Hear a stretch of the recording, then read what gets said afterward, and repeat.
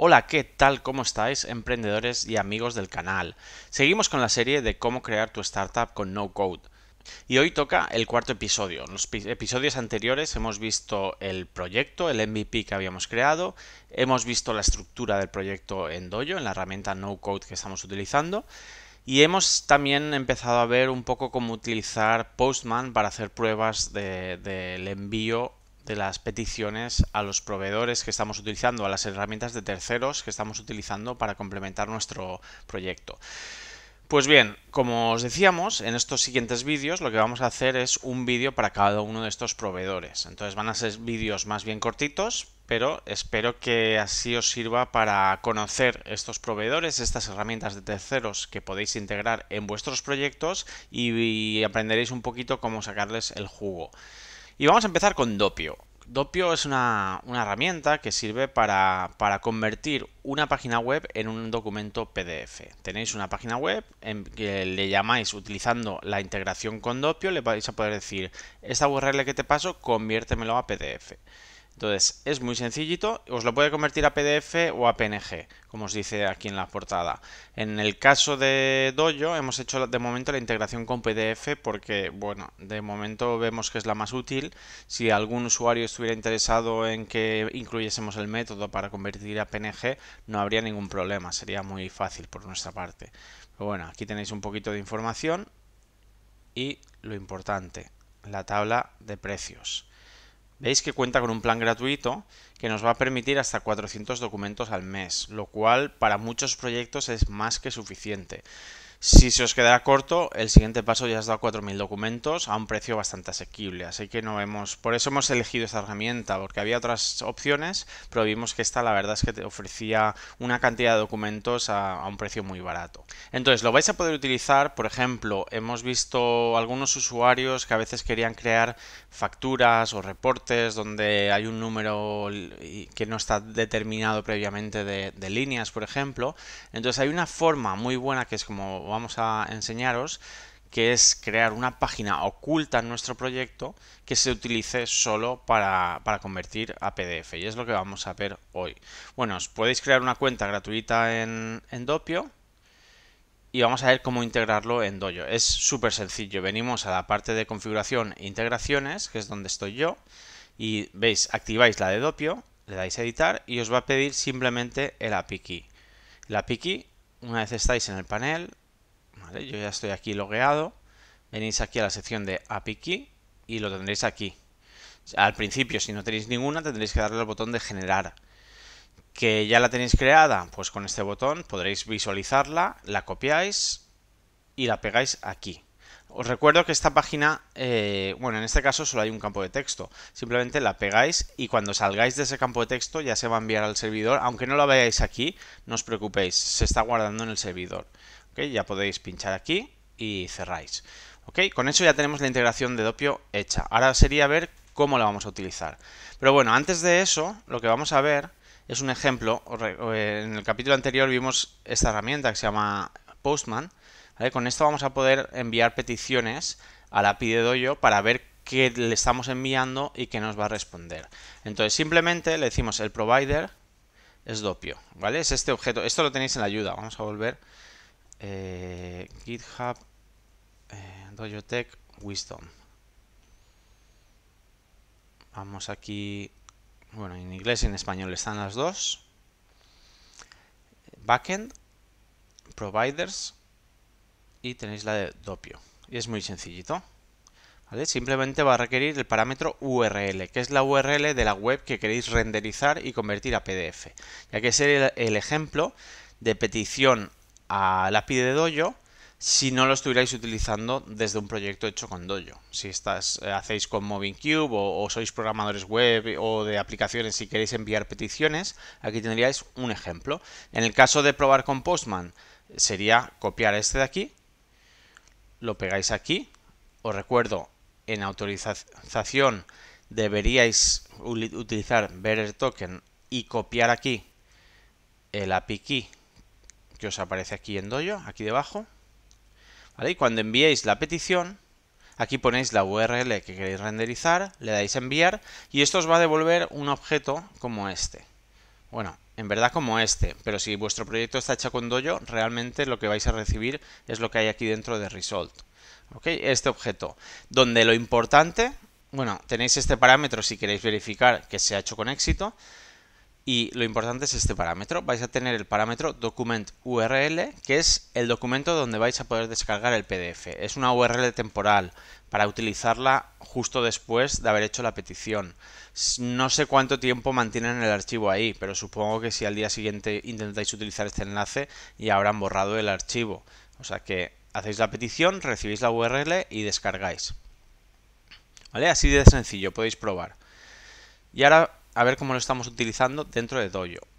Vamos a editar y por ejemplo en la vista document nosotros teníamos aquí el botón de descargar PDF. Vamos a ver el evento. Un clic.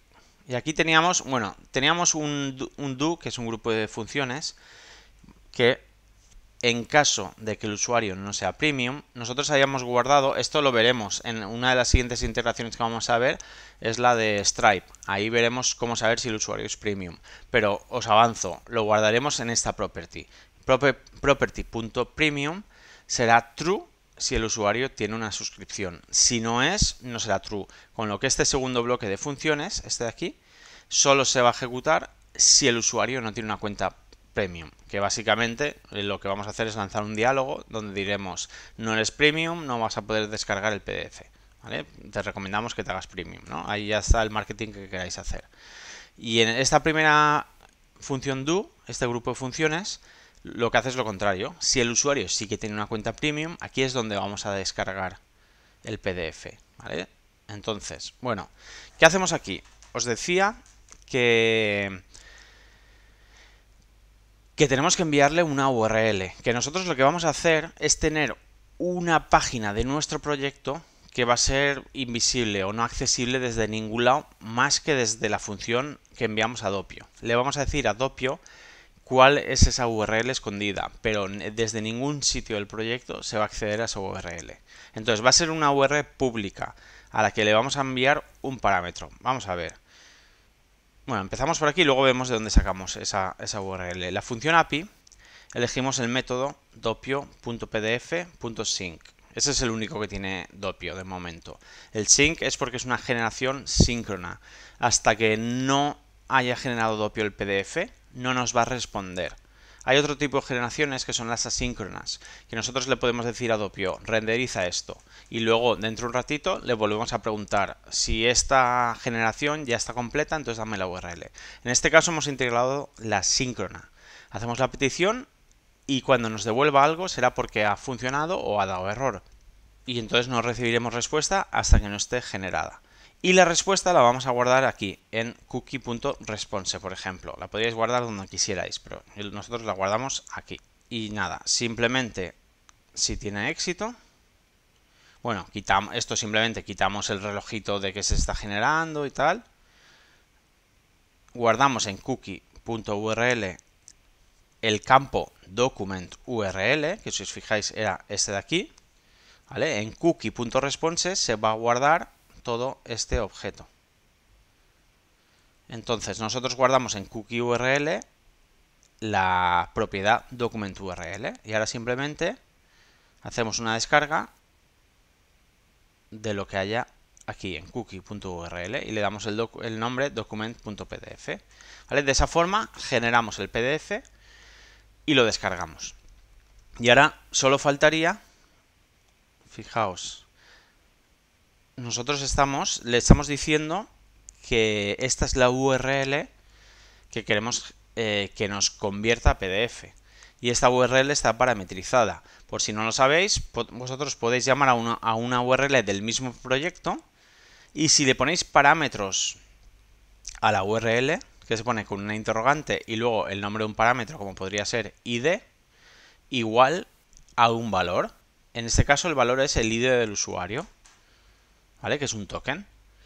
Entonces, esto lo va a convertir a arroba property.id. Entonces, ¿cuál es la vista a la que vamos a ir? Esta de aquí, PDF Generation. Vamos a ver. Aquí, PDF Generation. que esta página simplemente tiene un texto aquí. Este componente de texto le vamos a decir que el contenido lo tiene que interpretar en formato HTML. ¿Y qué es lo que va a coger? Lo que haya aquí. A ver, vamos a hacerlo un poco más grande. ¿Veis? En firebase.firestore, en la colección PDFs, el documento que tenga ID property.id, que es el que se le pasa la URL, lo que acabamos de ver. Se le, en la URL le ponemos interrogante ID igual al, ID del usuario. Entonces eso se guarda aquí en property.id. Punto doccontent. ¿Ok? Ahora veremos en, en lo que hay aquí. ¿Ok? Esto, como os decía, es una URL pública. Cualquiera que supiera el ID del usuario podría intentar descargar el último documento. Cuando digo pública también me refiero a que eh, quien vaya a utilizar esta URL no va a tener que estar logueado con nuestro usuario y contraseña para poder ver el contenido. Esto es necesario para enviárselo a Dopio. A Dopio le estamos mandando una URL y el API de Dopio va a contactar con esta página web, le va a enviar el ID que le hemos dicho y va a acceder a Firestore. Entonces, en ese momento Dopio no tiene un usuario y contraseña de iDocumenter, con lo que hay que asegurarse de que en la base de datos esta colección PDFs va a ser pública. Podéis poner públicas toda, todas las colecciones de Firestore, pero no es muy recomendable. De hecho, si lo ponéis público, Google os va a enviar un montón de emails diciendo que vuestra base de datos de Firestore no cumple las reglas seguras. Entonces, ¿cómo solucionamos esto? Pues aprovechamos y lo vamos a ver también. Esta es nuestra base de datos. Tenemos esta colección PDFs.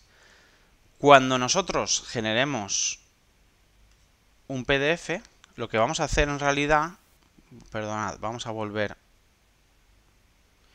al proyecto. Cuando le dábamos a generar PDF, ¿vale? Lo que hacíamos, esto no, no lo hemos visto antes, fijaos, añado en firestore.pdfs, en esa colección PDFs, voy a añadir con la key que coincida con el user ID, voy a crear un documento que ponga la fecha, el doc content que será, bueno, esto es lo que ha cogido, eso ya lo vimos en, la, en el vídeo segundo, cuando pinchábamos en un documento, en property.document, desde el menú principal guardábamos el documento entero, lo que había en Firestore. Y ahí había un campo, doccontent, que tenía el HTML ya del documento. ¿Vale? Todo el contenido HTML. ¿Ok? Lo guardamos ahí, decimos que el usuario es ese también por tener más información, ¿ok? Pero se guarda en esa colección. Y esa colección, ¿cómo hacemos que sea pública? Pues fijaos, venimos aquí a las reglas, ¿Vale? Y hemos modificado las reglas que nos vienen por defecto. Esto, paráis el vídeo, veis bien cómo está escrito, por si lo tenéis que utilizar, os sirve de referencia. Por defecto, nosotros teníamos esto que es que todas las, todas las colecciones y todos los documentos sean privados. O sea, que solo pueda escribir y, escribir y leer cuando se hace una petición desde un usuario que está logueado. ¿Ok? Pero vosotros podéis decirle, aparte de eso, que haya una colección concreta que no necesite estar logueado. Y lo ponéis arriba, antes de esto, ponéis esta. ¿Veis? Que la colección PDF y todos los documentos que hay adentro, vamos a permitir leer a cualquiera, se pone if true, quiere decir que cualquiera puede leer, y solo vamos a poder escribir si lo hace un usuario que está logueado. De esta forma nos aseguramos que aunque sea pública, nadie nos pueda meter información en la base de datos. El que acceda desde fuera va a poder leer, que es lo que queremos en este momento, pero nadie va a poder escribir. Y bueno, y de esta forma ya lo tendríamos. Tenemos esa página web, que es PDF Generation, que simplemente nos va a mostrar el contenido que había en Firestore, el contenido HTML de ese documento.